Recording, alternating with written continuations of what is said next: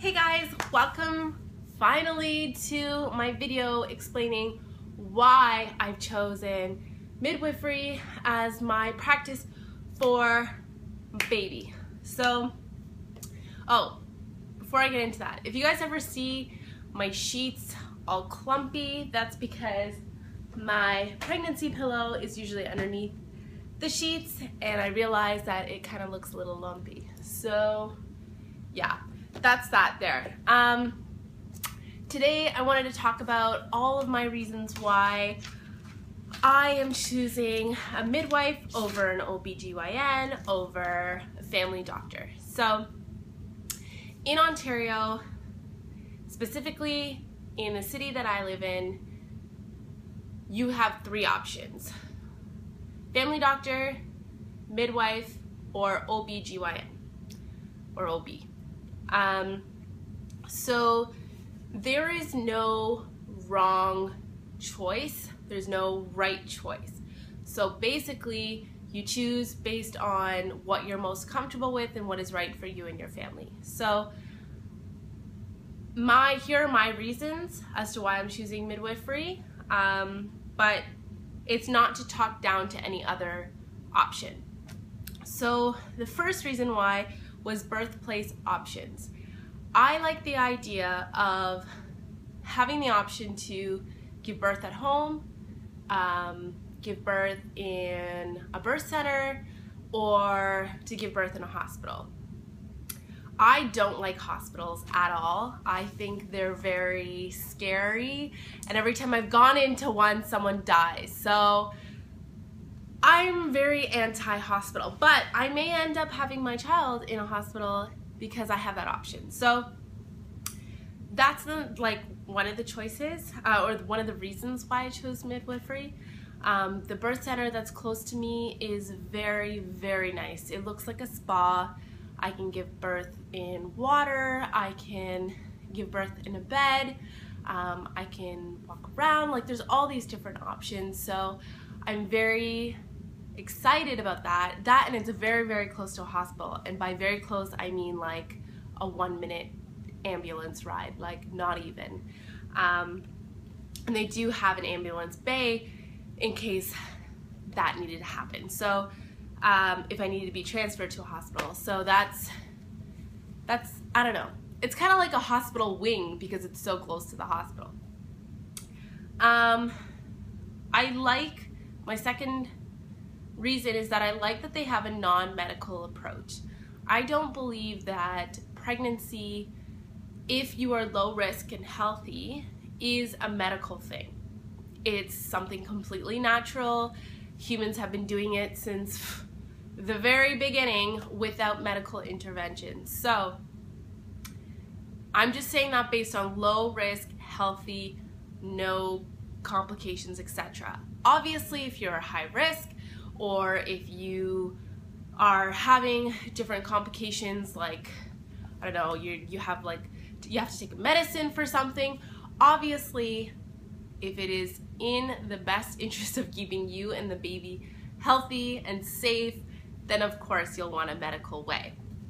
But if there's no need for medical intervention, I do like the fact that midwifery is a natural approach.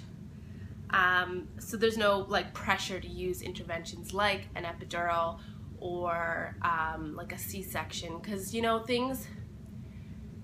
I've watched the documentary um, The Business of Being Born and that kind of really opened my eye to um, how the business of of birthing has really changed the way we birth. So time limits on like you know how long you can be in labor for before they say okay we need to use forceps or we need to um, cut you up and take the baby out etc now there are obviously reasons why that is needed for the safety of baby and mama but in a normal scenario when it could have been a vaginal birth.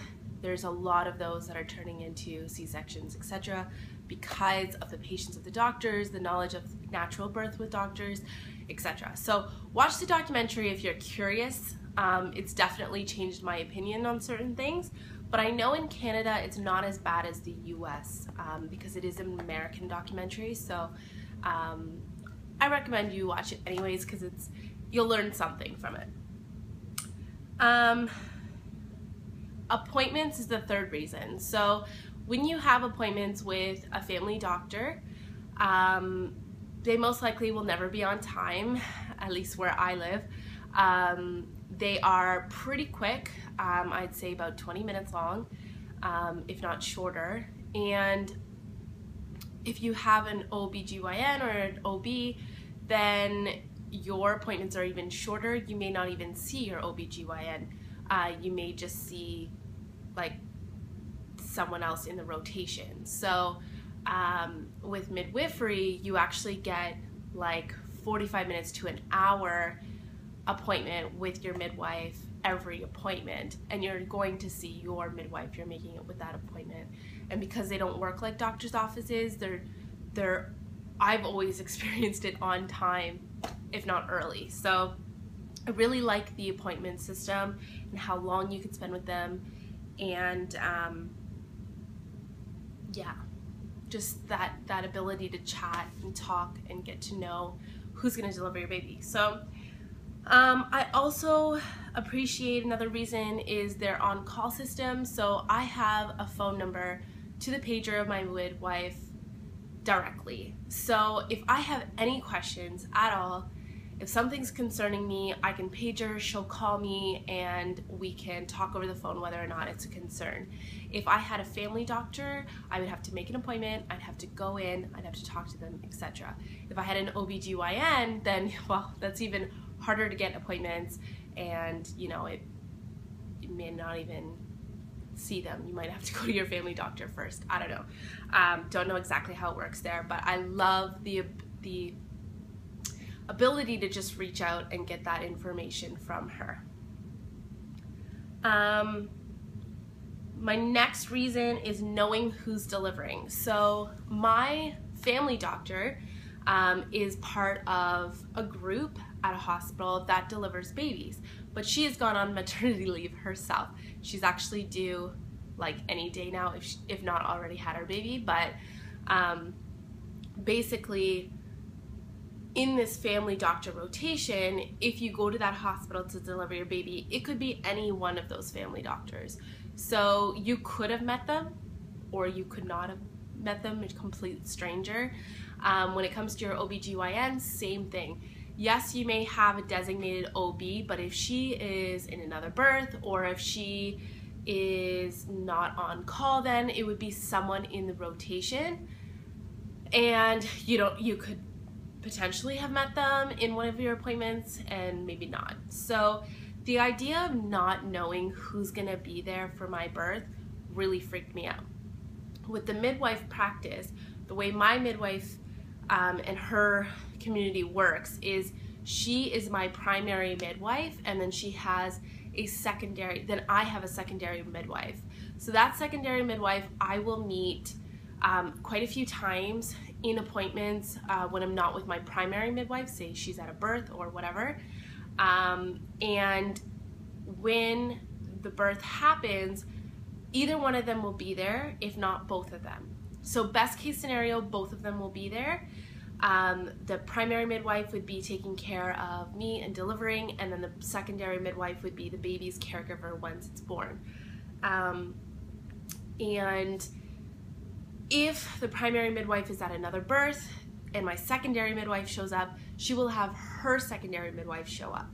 So, worst case scenario is I have my secondary midwife and a backup midwife that I may or may not have met. I could have met, them, um, but they could be a complete stranger. But at least one person I will know for sure. So that to me, because it's my first time, I want to relieve any anxiety about the birth as much as I can. So the fact that I know who's going to be there, and I know what's going to happen roughly.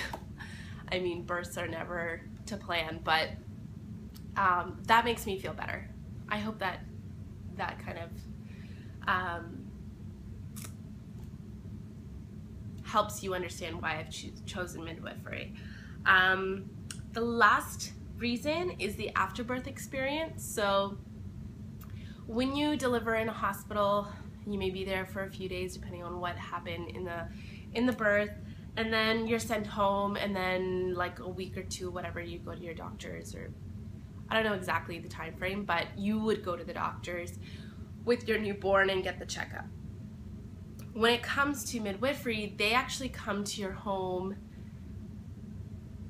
every other day or every third day for the first little while and then um, after two or three weeks you go to them. So the first little bit they are consistently checking on you and baby in your home. So they'll come to you which i really really like.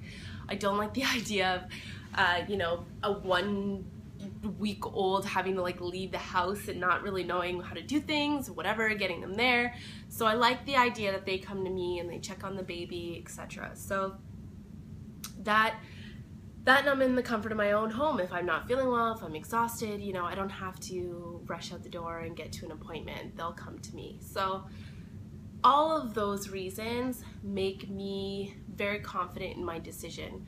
My best friend at work, she's a week behind me. Um, she is going with an OBGYN like she did her first child. Um, so she sees my, her family doctor until the OB kind of takes over, I think, in the second trimester. Not sure exactly how it works for her, but um, she's having her baby in a hospital. She already knows that. She knows the hospital, um, what room, etc., because she's done it before. So she's very confident in that um, respect, and the experience that she had was positive. So, um, like I said, there's no wrong choice in in choosing who you want to deliver your child. So all the all of the options that you have and you may not have all these options. You may only have a family doctor. You may only have an OB.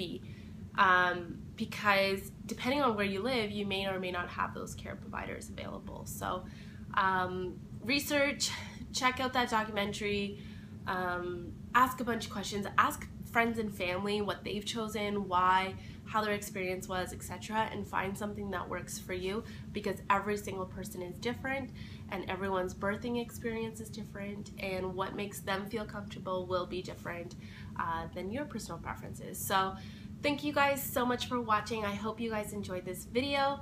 Thumbs up if you did, and share it if you know people who, um, you know, may be deciding or um, they're choosing a midwife and and you want them to choose something else or they're choosing something else and you want them to choose midwifery, whatever, just share the video so you can share the information. And like I said, this is my personal choice and what's gonna work best for me. My fiance is definitely um, against out of hospital birth. So when I do the video with him, um, I'll do like the fiance tag or man tag or whatever you want to call it. Um, we'll talk about different things like that and how we're gonna deal and figure out what we're gonna do for our family. So thank you again so much. I'm rambling now, I'm sorry. Much love, bye.